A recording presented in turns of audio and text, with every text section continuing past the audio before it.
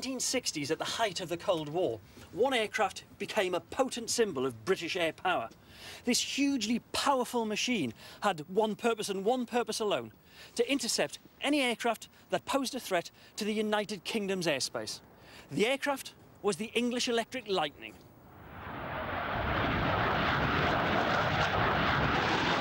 Prototype of the Lightning first flew in 1954, but even then, its future was uncertain because there was a school of thought that said you could defend the skies of the United Kingdom with surface-to-air missiles and not manned aircraft. Luckily, the aircraft supporters won the day, and the Lightning entered service in 1960, where it remained as the RAF's frontline fighter for over 20 years.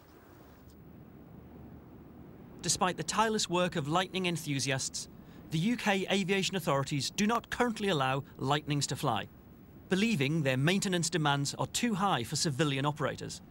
But there are no such problems in South Africa.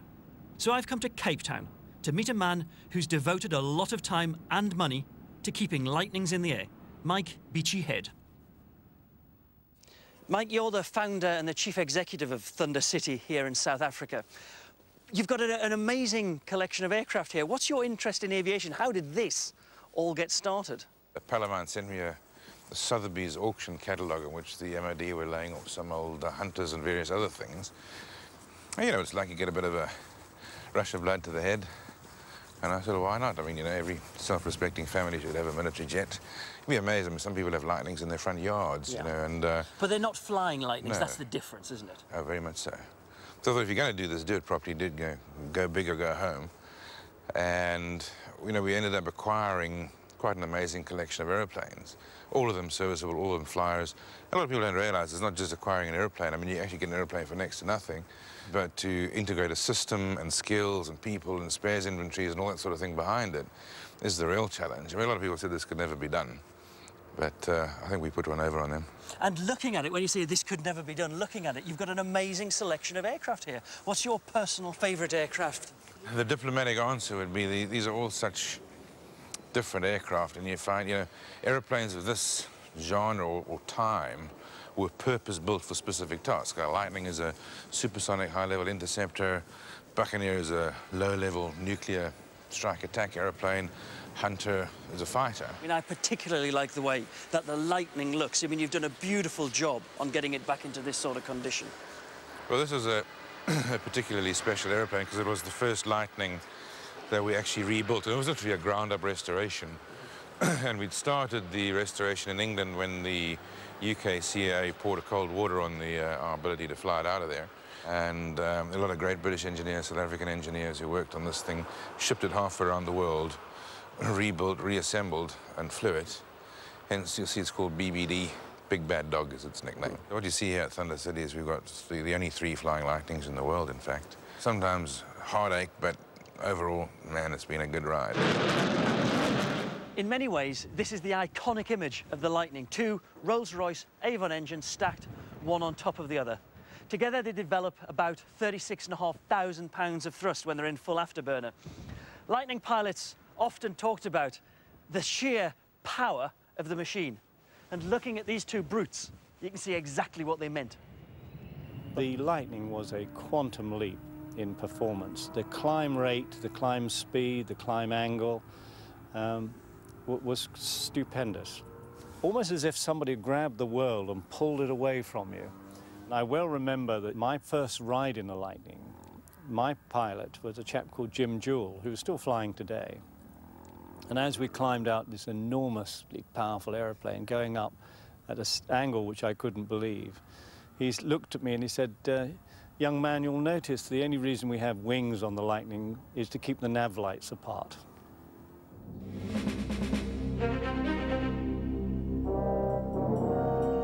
Protect NATO's airspace, the Lightnings were ready to get airborne 24 hours a day, 365 days a year at a moment's notice. It was called Quick Reaction Alert. Call data, primary stud 6, secondary 9. And from my experience in the Falklands and in the UK sitting on QRA, most of the time it was just boring.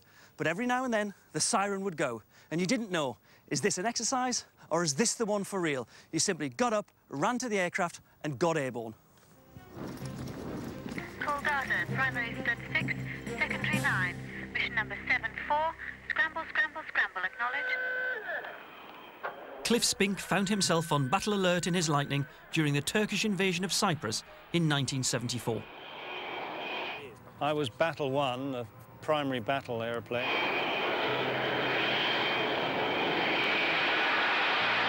Alert horn went. Um, I went and got into the aeroplane, and uh, much to my surprise, the controller said, Alert 1 Lightning, we have six tracks coming down from Adana. No, 20, you're takeoff. The barrier's up, the hook goes up, but the service wind is from the south at 5 knots. I was rather glad to look over my shoulder and see my flight commander, Henry Plojek, jumping into the other Lightnings. And I thought, well, the odds are going to be slightly better.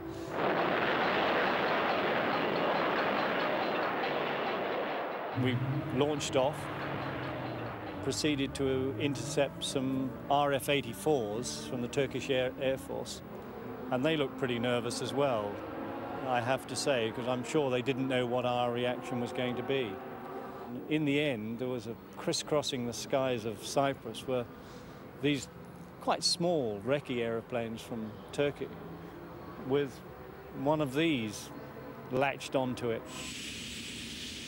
Quick reaction scrambles in the UK led to some interesting encounters with Russian aircraft marauding into UK airspace, as Peter Collins remembers. If it was a QRA scramble, um, the intention would be to get yourself into a position where they knew you were there so that uh, they were aware that they had been intercepted. Um, and they would know that this would happen.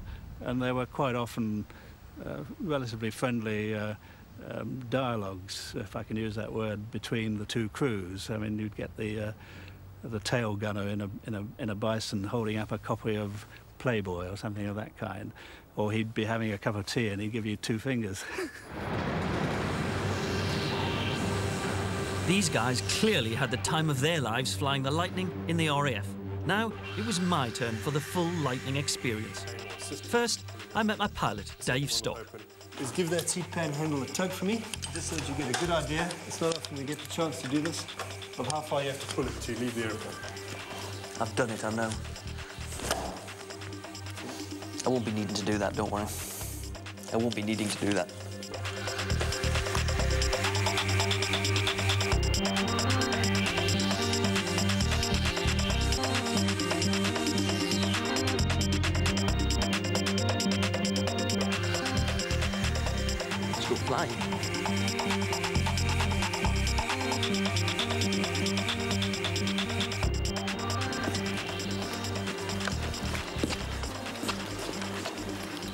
Many people get a chance not only to fly a military aircraft, but to fly, fly something as unique as the Lightning. So uh, this is what I'm looking forward to.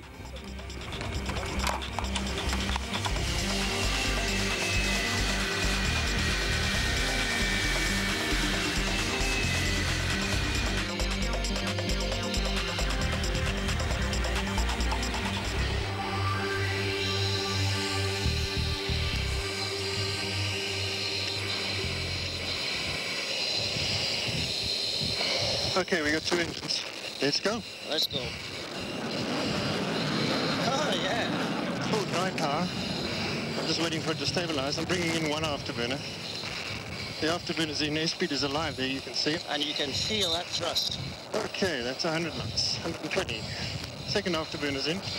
That's 150. Full afterburner, gear cycle.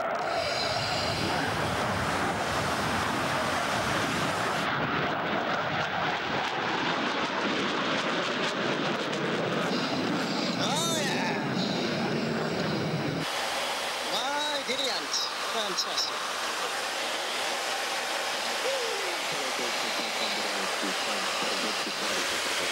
That's South Africa in Cape Town. This is the English Electric Lightning. John, what I'm doing, turning out to sea, and I'm going to start accelerating through 37,000 feet. Okay, okay. Okay, so we got 100% power. I'm bringing one afterburner in.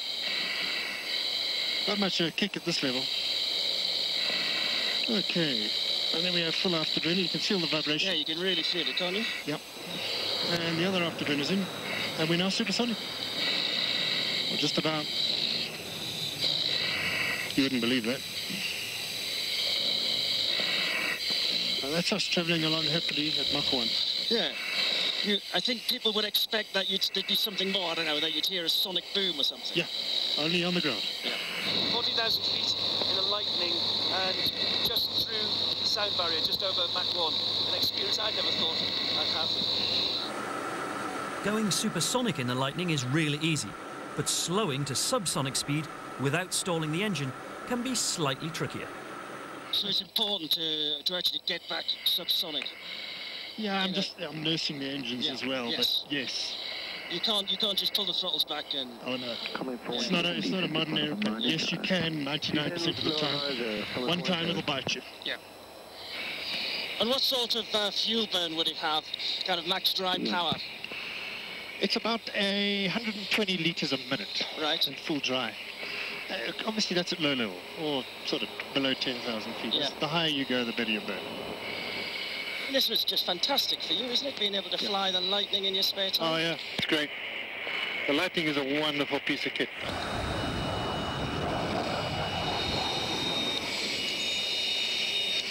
And it's just starting to, to really, the alpha's coming on now. Yeah. You can see that the nose is way up there. And you haven't got an alpha uh, indicator in the cockpit, have No. you? So you're just kind of, you're kind of visualising. Yeah. You can feel it. Yeah. The one thing that the English electric light is really famous for is its awesome power. And you can really feel that kicking in. Accelerating up through 300 knots. Burners coming in, really feel that pressing back now. 400 knots. 450, still being held in the back of the seat. 500 knots at about 100 feet.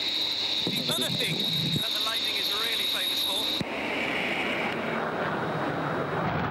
is its intensely fantastic rate of climb.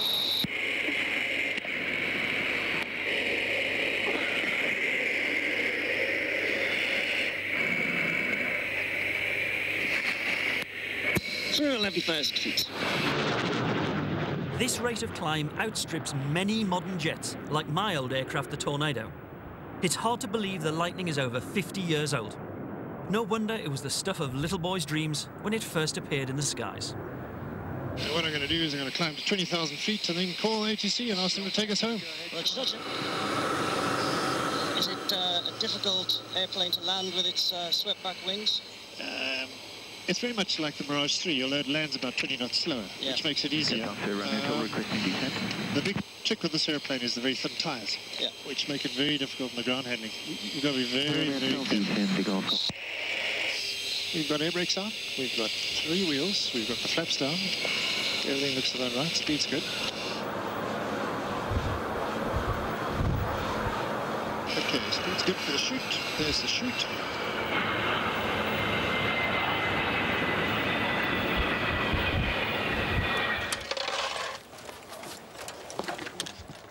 Well, what can you say about that?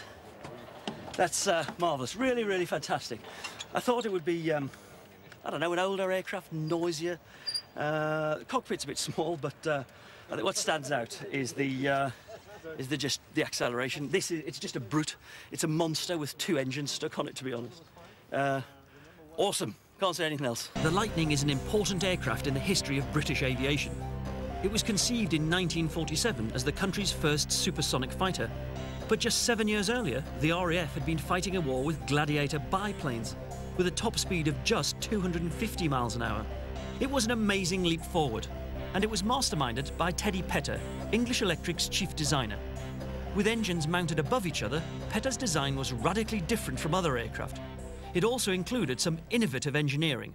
The whole idea when Teddy Petter designed this machine was to have a minimal frontal cross section. And everyone thinks because it's got two engines stacked like that, they're actually not. They actually stack one behind the other. So if you like, you've got one and a half engines, and there's incredibly clever um, ducting. If you think this airplane can whiz along at Mach 2 and still be feeding you know, slower air or subsonic air into the engines, they don't get a compressor stalled, is amazing. So flying an aircraft that's a, a 40 or a 50-year-old military fighter, it must be quite difficult to actually fly. No, well, you know, certainly I don't find the handling characteristics of the airplane at all it's actually very docile. You know, there's a bit of myth about it being called uh, the frightening. But you also understand that we operate these things in, in day visual conditions. Highly different story, some poor guy in the 60s in shockingly bad weather out of Binbrook with no fuel and no visibility, and he's looking into a radar. As an operational thing, that becomes really, really difficult. It was an aeroplane that we could easily run away with you. Um, you had to be ahead of it. Uh, and you not only had to be ahead of it in performance terms, but it was a gas guzzler. Fuel management was absolutely critical. Um, you planned your sortie, you had to know where you were in relation to your either your landing field or your diversion. Um, at all times, you had to have one, one eye on the fuel gauges. I thought it was a great builder of captaincy in young men. Had to manage that aeroplane from the time you started taxiing. So air-to-air -air refueling became the norm for young Lightning pilots. Air-to-air -air refueling was almost a, a daily occurrence for us. The probe was fixed, which did actually just slightly reduce the indicated airspeed limit by about 25 knots. But the airplane was so controllable that when you sat behind, you, you really felt that the airplane was part of you and it, it, you felt it. And even the smallest control movements the airplane would respond to. And in a tanking, which is essentially formation, um, it was great. Although you couldn't see the end of the probe, that was down to your left-hand side. And when you first started, you had to know that as you closed on up to the wing, using the references on the wing and the pod, that that would actually go in. If you started to look, you were lost. It was a technique which sometimes was hard won, but once you got it, it was not a problem. Later versions of the Lightning had enlarged fuel tanks in an attempt to extend the aircraft's range. Mark 6 with the much bigger ventral tank and this is one which is all fuel tank. Um, in some, and certainly the ones we flew in Cyprus, we had two 30 millimeter cannons in the front of this assembly. Uh, I remember speaking to an American once, and he said in a sort of a Texan drawl, he said, only a Brit would put guns in a fuel tank. Towards the end of its career, the Lightning fulfilled a different role, as it was adapted to a changing tactical threat. Peter Collins was the station commander of a Lightning squadron based close to the East German border. Our role became uh, much more low level. We knew very well that just over the border were many of these um, Soviet forces in Germany air bases, which were capable of mounting a low level, very fast attack against any targets within NATO. The Lightning wasn't only very fast, it was extremely maneuverable and a very good aircraft in air combat and we reckoned that we could cope with any threat that we perceived, uh, and we regularly practiced these tactics against NATO aircraft of, of, of, threat performance. We knew very well that we could uh, we could uh, wipe the arse off those. But when you were on a, on a battle flight scramble from Gütersloh, unlike the ones from QRA in, in the UK, you knew very well that you were being scanned by enemy ground radars only a matter of miles away. It kept the adrenaline level high we did regard ourselves, to use the worn phrase, of, as Cold War warriors. It's great seeing these old aircraft again. When I first joined the Air Force, this was still flying. And when I left in 1996, 11 Squadron, which is this aircraft, was my my last squadron. It's, it's just great to see them. It's a shame that we haven't got any flying in the UK. My time in Cape Town was coming to an end, but there was just enough time for one last flight with Mike in the Lightning.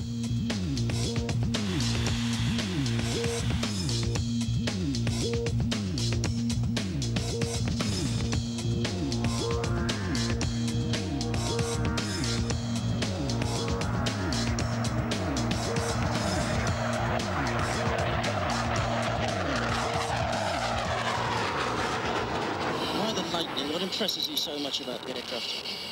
Just you know, raw sex appeal, raw power. He's such in touch. You're so in touch with the airplane. There's no fly-by-wire to isolate you. you know, there's you and this incredible machine. I presume Cape Town in particular must be an ideal place to operate the sort of flying operation that you do. Well, I mean, apart from the fact we've got a great bunch of guys in the tower normally, uh, look at the airspace around you here, pretty uncluttered. It's not a high density area, and south of Cape Town, of course, next stop Antarctica, so we think it's pretty good. Yeah.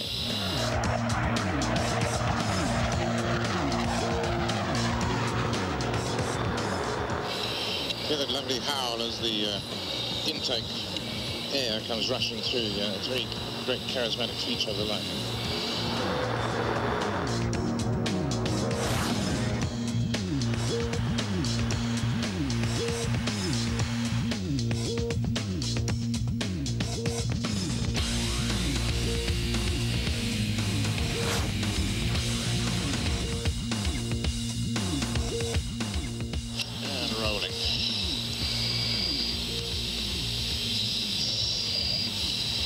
Give you 7 out of 10 for that. Thank you.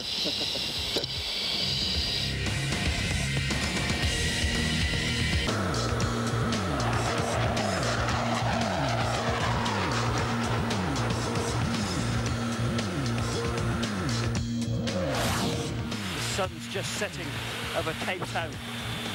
Absolutely fantastic experience to be up here at 6,500 feet, 400 knots in this wonderful old aircraft.